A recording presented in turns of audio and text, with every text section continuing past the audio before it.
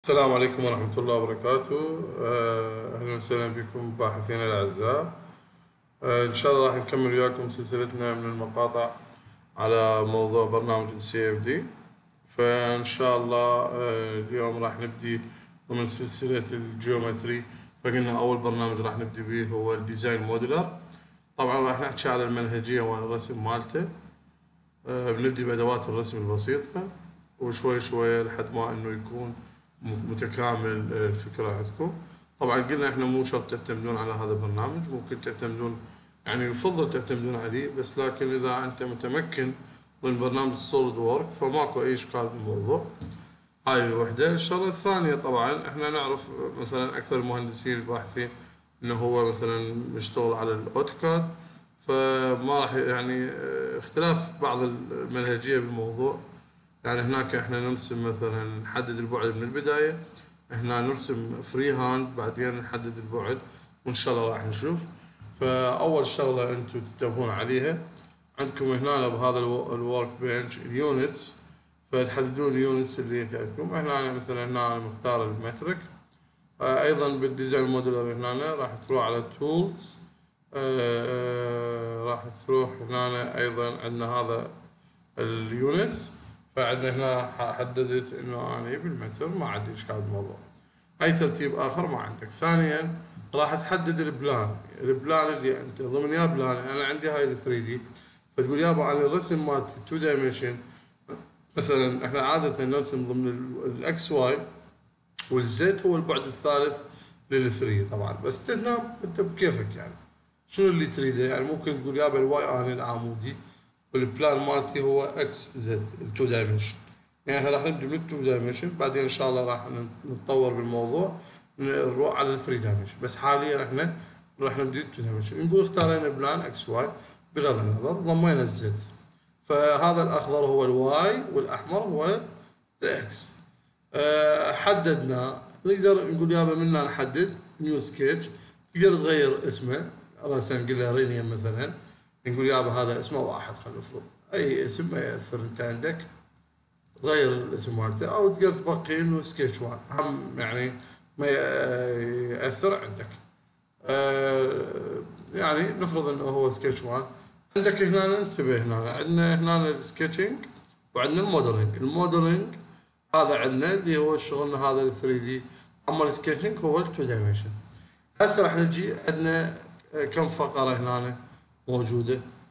أول شيء عندنا ال draw وعندنا بعدين ال modify إحنا قلنا شلون بال AutoCAD آه، تعلمنا إنه أول شيء نتعلم شلون نرسم draw بعدين modify بعدين نحط الأبعاد وأكو الثوابت اللي عندنا وعندنا ال setting بال setting مجرد عندنا اللي هم ال grid شلون عندنا مثلا grid two dimension هذا حددناه.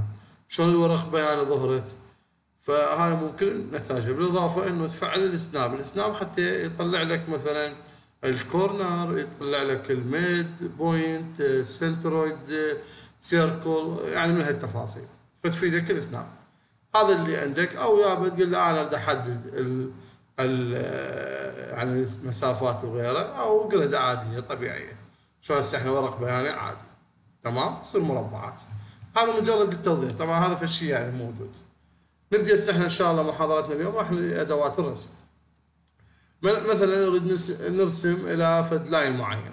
Okay? أكو عندنا شغلتين. أما ال polyline أو ال line. شنو الفرق بيناتهم؟ ال line أنا لما أجي أرسم في أي مكان ال line هذا يرسم رسم واحد يقطع. بعد خلاص. تجي انه لازم تضغط مرة ثانية وتكمل.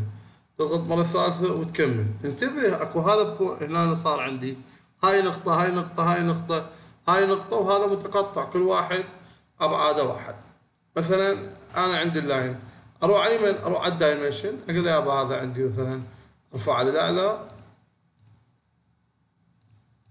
هذا V vertical وال H horizontal اللي هو يعني افقي العمودي انتبه هنا يوم ملاحظ مثلا على هذا. أنا عندي هذا ال H ال H 1 مثلا. إيش قد ال H 1 شوف إيش طلع لك؟ طلع لك باللون الأصفر تحدد.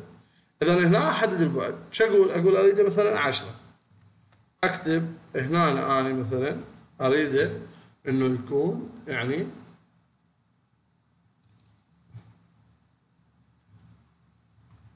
أريد 10 مثلا. عبرنا. هذا صار المسافة عندك.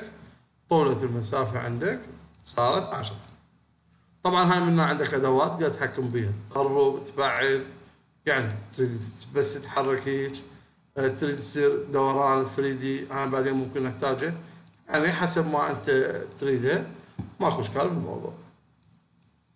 حاليا إحنا ضمن 2 dimension فهذا شغلنا. ما نحتاج يصير تدوير فهذا حددته 10 هذا المسافة اللي هو H 2 هذا اللي هنا. قلت له يابا أنا اريد خمسة مثلا. سويته خمسة. أو خلينا نقول سويته آه، ثلاثة. ثلاثة. امسح هذا. تأكد من المسح إنه بضغط ثلاثة وإنه انزل فشوفوا إذا انتبهتوا إنه زاد المسافة هنا. العامودي يابا العامودي أريد خمسة مثلا. تمام؟ هاي بالنسبة لل line. رسمت ال line خلصنا ما عندنا مشكلة به هذا مال tangent line line tangent هاي بعدين نستخدمه. يعني مثلا إحنا خلينا نقول نريد نرسم من هنا سيركل ونريد مثلا تانجت. فحددنا نشتغل يصير يعني إنه يكون مماس يعني. هاي الفقرة التانجت. تمام؟ يكون مماس إليه يابا إحنا مثلا خلينا نقول آه نرسم مثلا خلينا نقول هنا سيركل هنا سيركل طبعا هاي كلها بدون قياسات. أريد واحد هنا وواحد هنا. رسم لي خط مماس إلى نقطتين فاحددت ماكو إشكال بيها ال polyline شنو فكرته؟ ال polyline أنا فكرته إنه أرسم متواصل يعني اظل هيك لحد ما أخلص. مثلا أحد مجموعة من الأركان والنقاط لحد ما اغلق أقول له يابا close هاي خلصنا هاي طلع عندنا شلون أحدد ابعاده نفس الفقرة هاي هنا مثلا أقول هذا هيك هذا هيك نفس الحالة. وأجي هنا هذا حدد لي أصفر أريد هذا خمسة أريد ستة أريد سبعة وهكذا. تأشر من هنا بيطلع لك. Okay? هاي الشغلة المهمة. هنا جنرال يعني مثلا إذا أريد مثلا تضغط على الدائرة راح راح يعرف إنه الدائرة مثلا حقت. وهكذا. هسه إحنا هذا بالنسبة لمن؟ بالنسبة لل line قلنا عندنا ال polyline وعندنا ال line Okay? خلي نرسم نمسح هذا هسه عندنا حتى نكمل وياكم. نرجع يابا new بغض النظر صار رقم اثنين عادي. هسه نجي. عندك مثلا هنا ال polygon ال polygon يقول لك حدد قد اضلاع تريده. مثلا هذا ناس تقول يابا أريده خمسة. أحدد ال center مالتي وأبدي إنه شو أسوي؟ أسوي بهالطريقه مثلا هنا هذا ال polygon مالتي ال dimension قلنا يابا هذا ال dimension. أنا مثلا إيش قد ال line الواحد؟ مثلا ال line الواحد أريده أربعة. صار عندي أربعة، ال line الواحد أريده عشرة. صار عندي عشرة، ليش تحول كل السويه؟ لأن أنا قلت له أريد خمس وحدات يعني الاضلاع مالته خمس اضلاع لل polygon فرتبت بهالطريقة. والطول الضلع الواحد تلقائيا راح يطلع عندي.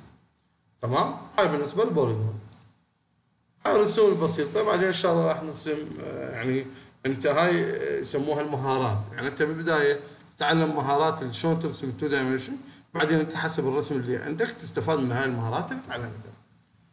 عندنا rectangular هذا rectangular مجرد حدد نقطة نقطة أخرى وأيضا الأبعاد مالته تروح على ال dimension general اشتغل ما عندك في المشكلة يعني هذا من هنا وهذا من هنا.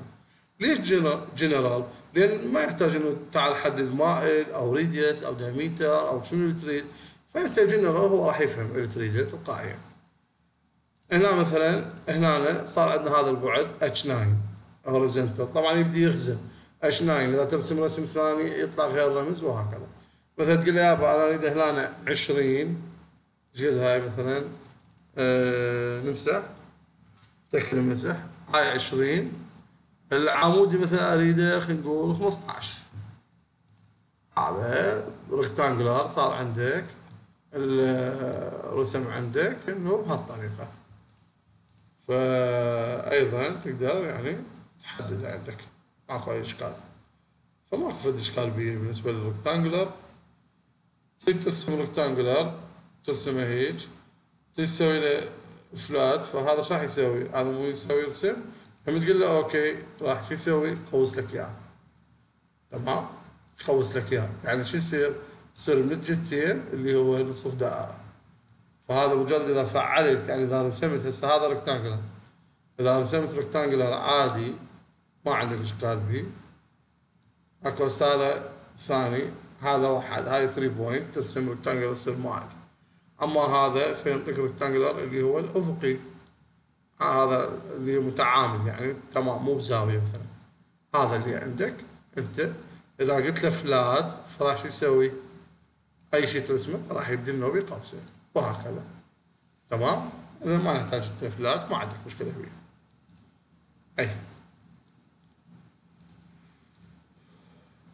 هذا أيضا يرسم نفس الشكل اللي بال rectangular والطاق يعني هذا الشكل نفسه يرسم عندك منه موجود جاهز ال oval يرسم لك اياه اللي عبارة عن مستطيل الجهتين مالته مجرد يسوي راح تقول شلون أقيس؟ هم نفس الحالة. دايمنشن قيس هذا بس مجرد قد هذا اش 10 اش 10 أريده مثلا تو وياي على الرسم.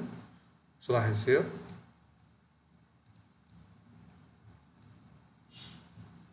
صار مثلا اش 10 وقد مقداره 11 أريد أضعف 20 شفت إيش صار؟ طولت هاي المسافة. رجعت مثلا قلت له هاي جنرال. مجرد أنا يما له جنرال حددت القوس تلقائيا اعطيك radius. قد ال R؟ منطيك اياها مثلا منطيك اياها ثلاثة نقول خمسة. حددت تلقائيا يأخذ البعد الثاني أيضا خمسة. تمام؟ لأن هو متطابق رسم واحد فما راح يصير عندك إشكال. أنت مجرد ترسم هاي القاعدة ممكن تحتاجها. تمام؟ أدوات الرسم راح تكون بهالطريقة بهالمنهجية. يعني أنت ترسم الرسم اللي تريده ومن ال dimension تحدد قد قيمته. عكس عكس ال AutoCAD. ال AutoCAD ترسمه تكمل وال dimension مجرد شغله إنه يعرض. لا هنا ال dimension جدا مهم عندك. يعني أنت تحدد قيمة هذا ال line عن طريق ال dimensions tool آه فضمن ال draw هذا اللي عندك. circle يعني منطقيا circle تحتاج تصف خلاص هاي circle وأيضا dimensions فمجرد تضغط يعني هذا مثلا قطر D إيش قد ال D طلع عندك مثلا D 12 نقول اختاريت 15 فما عندك في الإشكال هذا. صار رسومه وايد ترجع عادي قلنا شلون تعلمنا؟ نضغط عليه right click والنوب delete المسح عندي وأرجع نفس الطريقة.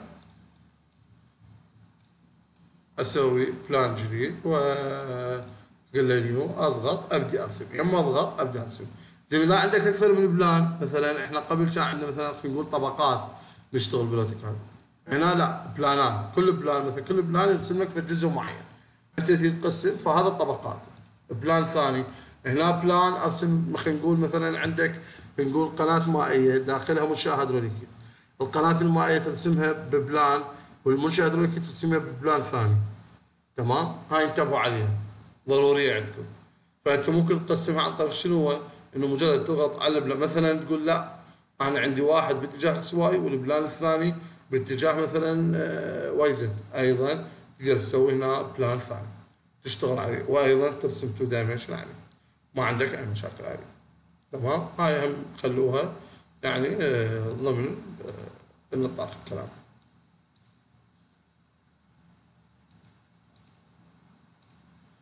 هسه إحنا نرجع لل plane مالتنا نحدد المكان اللي نرسم هذا ال plane مالتنا محددين ومنطينا آه، اللي هو التشبيك مالتنا ال grid. فهنا إحنا سألنا ضمن هذا السكيتش. اجينا نريد نرسم. وصلنا ال circle تمام. يقول لك هاي ال circle by يعني يقول لك آه، يكون مماسي مثلا عادي مثلا. تكون تقول يابا أني هذا عندي خلينا نقول box وعندي هنا مثلا خلينا نقول آه، بهالطريقة عندي خلينا نقول line أنا لا على التعيين ونقول أكو line دا يقطع بهالطريقة. فايش راح أقول له أني؟ أقول له يابا إنه ال circle ثلاث نانجات يعني ثلاث مماسات اضغط ثلاثة راح يرسم لي دائرة ثلاث مماسات هنا. تحتاجوه في حالة أنت عندك هيك شيء. يعني عندك ثلاث أضلاع تريد داخلها دائرة فبهالطريقة والاقواس نفس الحالة. مثلا أريد أنا قوس مماسي بهاي بهاي النقطة فراح تحدد ترسم أيضا. هاي تحدد أي قوس والنقاط اللي عندك. أو ثلاث نقاط. تقول يابا أنا القوس من لهنا لهنا. أو العكس يعني. تمام؟ أنت طبعا عكس اتجاه الساعة شغلك. وش تسوي؟ تقول له أريد مثلا ثلاث نقاط تبدي من اليمين النوب هيج والنوب مثلا تحدد نصف قطر وياه ثبت هاي. تمام؟ هاي ضروري. يعني مثلا هيج تحدد النقطة النهائية براها نصف القطر. يقول يا أبو أنا هذا مثلا شغلي هذا نصف القطر مالتي. حدد مثلا بهالطريقة. أي شيء تريده بهالطريقة تشتغله. ال arc center ال ellipse يعني هذا معروف أنت ال ellipse تجي ترسمه باي مكان تحدده فهو راح يطلب منك شغلتين قطر رئيسي قطر ثانوي ومجرد إيش راح تسوي؟ راح تقول له يا dimension ف dimension راح يرسم لك. هنا نرجع بس نأكد الرسم هذا مثلا نقول قطر الرئيسي هذا مثلا قطر الثانوي حتى يكون واضح شكل ال ellipse. السابق ما كان واضح. فراح نوضح لكم إياه هنا. فهنا أيضا تروح على اليمين على ال dimension اتفقنا إحنا عندنا draw dimension فهذا عندك مثلا هنا شغل وهنا شغل. شو تريد مثلا؟ dimension مثلا مسافة أفقية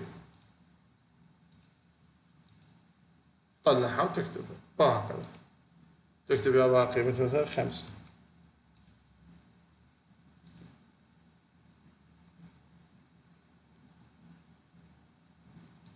خلينا نرجع بس نمسح هذا ديليت عندنا هذا الشات هسه بدنا نرسم الالبس فنحدد نقطة معينة. ارتفاع أعلى. إنه مثلا نقول صار شكله بهالطريقة وراح أروح لل آه اللي عندنا. وراح نختار جنرال